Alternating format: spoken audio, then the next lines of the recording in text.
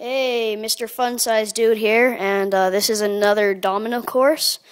And uh, I will leave a. Uh, I mean, so first I'm going to show you how this works.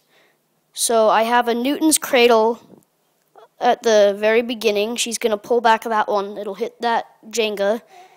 And I use Jenga just because I ran out of dominoes. And so what this domino course will do is it will come this way it'll go past the light bulb, if you can see that right there. And then it'll hit this wall, and then I put a few rows of Jenga right there just to make sure it would hit it. Then it'll hit this car. Then we'll hit those dominoes and hit this cube that I just learned how to make. And I put a few rows of dominoes just to make sure it would get past that.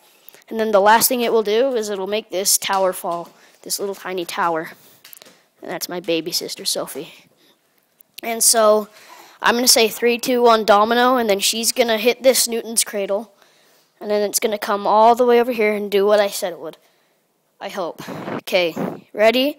Three, two, one, domino.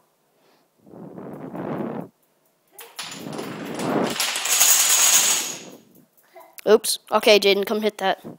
We had a little bit of a failure. Yes! Okay, success, success. Leave a like if you think it was cool, and uh, please leave a like and subscribe. And uh, yeah, that's it. And I'll be making more domino videos, so check in for more.